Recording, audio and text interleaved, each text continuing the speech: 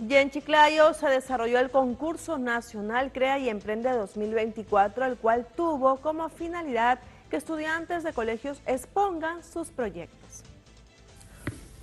En Chiclayo, estudiantes de instituciones públicas como privadas presentaron emprendimientos novedosos en el marco del concurso nacional Crea y Emprende aquí en la etapa Ugel Chiclayo.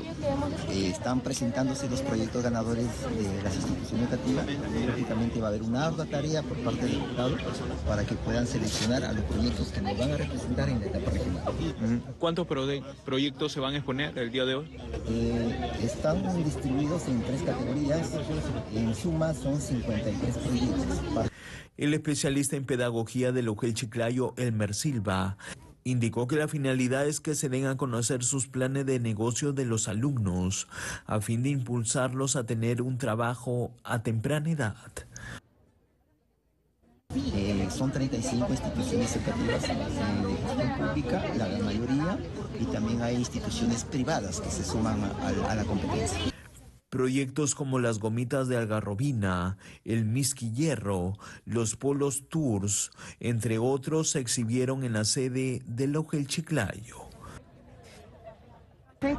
Eh, la institución educativa Santa Magdalena Sofía en el ciclo 6, eh, las estudiantes han elaborado como producto gomitas de algarrobina, ¿no? que tiene como insumos la algarrobina, miel de abeja, porque estamos revalorando una de sus potencialidades que es la algarroba, ¿no? el fruto del algarrobo, como potencialidad de la región Lambayeque.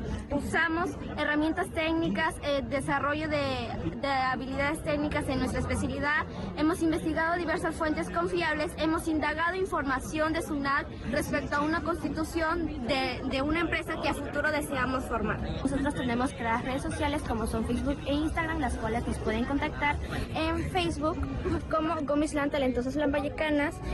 Cabe precisar que fueron 35 colegios los participantes, donde se expusieron un promedio de 50 proyectos.